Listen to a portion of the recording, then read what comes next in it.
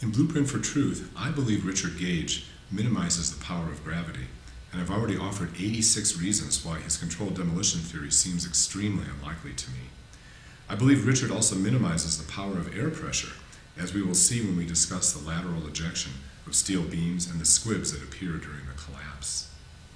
To paraphrase Richard, lateral ejection of multi-ton steel pieces is evidence that this collapse has all the features of a controlled demolition, except when it doesn't. Successful controlled demolitions never shoot steel beams hundreds of feet into nearby buildings. This phenomenon is much more likely caused by random elements of a natural collapse, not a planned demolition. Richard claims that this was a deceptive controlled demolition, explosive in nature. Could that be to make the destruction even more terrorizing? Well, then why not topple the buildings entirely on their sides and really terrorize us? Now, I admit this is all conjecture, but I just can't imagine the why for any of this. Richard uses this chart showing how far the ejected objects went horizontally. He claims that the higher the steel beams were, they should have gone further because they started higher up and would have gone further across. But the opposite is true. Look at this video. If it were a controlled demolition, then lateral ejection of dust would be even throughout the collapse. But dust ejection starts slowly when the building is collapsing slowly, and then very gradually increases in intensity with no sudden increase in intensity as the descent speed gradually increases, just like we saw in the chart Richard showed us. Eventually, the floors are being crushed faster than 12 floors per second, pushing out one half million cubic feet of air per floor with a horizontal expulsion speed of 484 miles an hour, more than twice the airspeed of a very big tornado. 100,000 pounds per square inch, hundreds of times more pressure than Gage claimed, that can curl house-sized objects hundreds of feet. Here's a picture of a palm tree impaled by a piece of plywood during Hurricane Andrew, with wind speeds of around one-fourth of World Trade Center wind speeds. The wind theory of lateral ejection is criticized by some scientists who have proposed two other possible explanations. One I call the bow and arrow theory, where the inward bowing columns snap back out during the collapse and shoot steel like arrows horizontally. Also, the pinball theory, where heavy objects are dropping outside the perimeter at free fall and hitting other objects. Like a pinball, much of the energy is conserved as the object changes direction, so an object dropping at 100 miles an hour could easily be deflected and shot sideways at 70 miles an hour. Scientists have hypothesized all three explanations, but no one outside the 9-11 truth movement has ever proposed explosives as an explanation.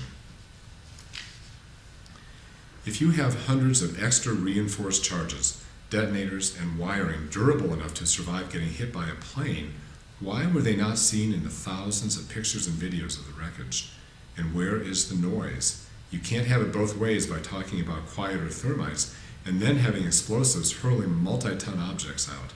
If Richards thinks explosives cause these huge objects to fly out, where were the monster, deafening explosive sounds? If you make an explosive quieter, you will, in exact proportion, make it less good at cutting steel. That's because the noise is part of the destructive wave that creates the demolition. You can't say that they were masked. You can't mask the sound of an explosion big enough to utterly destroy 220 acres of floor space by any more than about 8 decibels. Richard also does not account for the half million cubic feet of air being expelled on every floor at the rate of 12 floors per second. What does he think all that air can do? Nothing? He has never answered me in our debate. Is he saying that the winds or bowed columns snapping, snapping back or the pinball effect cannot account for lateral ejection of large objects? Do bombs make more sense than any of these explanations? So now let's talk about those squibs, which popped out all over the Twin Towers after the collapses began. I say that they're air pressure pushing smoke and dust out weakened windows and collapsing columns. Richard Gage says they are timed, or perhaps mistimed explosions. He asserts that, quote, air pressure will fill the room with air uniformly before it breaks any windows, close quote. Not true. The air may have moved too fast for pressure variation to reach equilibrium, and the last time I got a flat tire, it blew out at the weakest point only. It didn't cause the whole tire to explode. The weakest window would be the first to break, and then the pressure drops, so none of the other windows have to break. The towers were 90% air, 95% air, which was pushed out and down at over 100 miles an hour. Shockwaves were traveling eight times faster than the collapse and wreaking havoc on the building. Some jets of smoky air were pushed from the building through random weak points. Richard says there was a pattern to these squibs appearing between certain windows, but a recent David Chandler video shows squibs coming out of the corners of the building as the columns broke apart. So we can say the squibs had a pattern to them, except when they did not. If the squibs were controlled demolition, then squibs would go off before the collapse begins, as we saw earlier in the classic controlled demolition. Squibs happened only after the collapse began. Survivors felt what they called a hurricane wind strong enough to push them down the stairs. If squibs were explosive demolition charges, they would have created structural deformations, which these squibs did not. So let's take a look at that squib video. He says the squibs blew up very fast.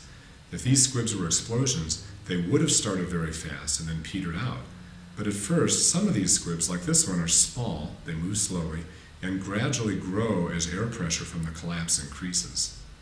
95% of the building was air, and when most of the air flew out, causing squibs, dust ejection, and maybe ejection of large steel pieces, 110 stories eventually crushed down to one tenth of that height, 11 or 12 stories.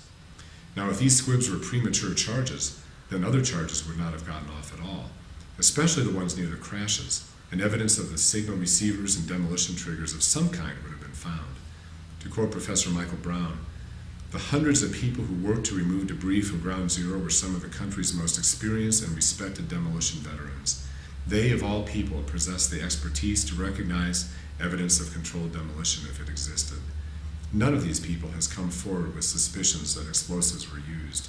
In our debate, Richard never explained the complete absence of used up demolition equipment in the. I've now talked about some of the enormous natural forces that made the collapse of the Twin Towers inevitable. I've talked about the power of gravity overcoming even the strongest structural resistance. I've talked about 482 mile per hour winds with a hundred with a half million cubic feet of air getting squeezed out of every collapsing floor at the rate of 12 floors per second. In my March 6, 2011 debate with Richard Gage, he had no answers for these. He kept throwing out claims that no layperson could answer without careful research. His presentation is impressive, his arguments forceful, but the scientists I talk with all have much better explanations for everything Richard talks about. I have spent hundreds of hours answering his claims, but we're not finished yet. We still have to talk about all that pulverized concrete and steel, Richard's allegations of molten steel and the debris, and the eyewitness accounts of explosions. And that is what exactly what we'll be doing in our next installments. Thank you.